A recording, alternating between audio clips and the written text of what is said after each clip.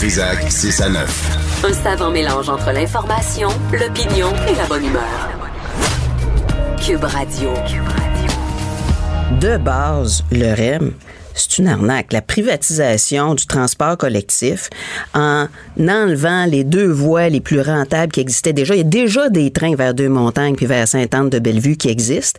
Puis là, on dit on va remplacer ces deux voies-là par des plus belles, des plus beaux wagons euh, électriques. Le bout sur le pont Champlain, ça, ça va. Tout le monde a toujours voulu ça. Ben oui. Mais la balance, et là, ce qu'on apprend de l'article de Michel Girard, c'est que ça va coûter aux contribuables québécois cette histoire de privatisation-là, même si c'est la caisse de dépôt et de placement, là, c'est de la privatisation pareil, là, parce que les autres peuvent le vendre n'importe quand, ça va coûter aux contribuables québécois 4 milliards de dollars en trop.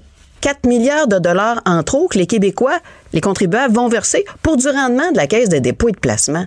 C'est hallucinant.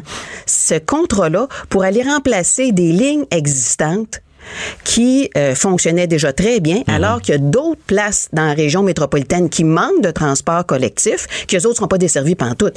C'est complètement fou comme projet. Et moi, je serais bien curieuse que des gens fouillent en dessous de ça toute la question des terrains où les stations vont avoir lieu, puis l'entourage des terrains. Je soupçonne qu'il doit y avoir quelque chose qui ressemble à ce qu'on a vu à Laval. Oh, oh, oh, avec le Bert Vaillancourt. À Laval. Qui, qui avait, euh, qui avait des terrains dans sa famille, c'est vrai.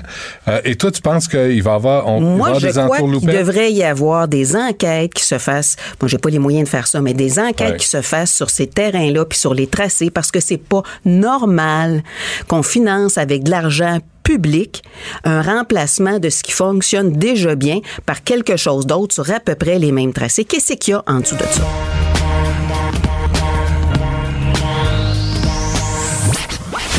Du Trisac, 6 à 9. Un savant mélange entre l'information, l'opinion et la bonne humeur. Cube Radio.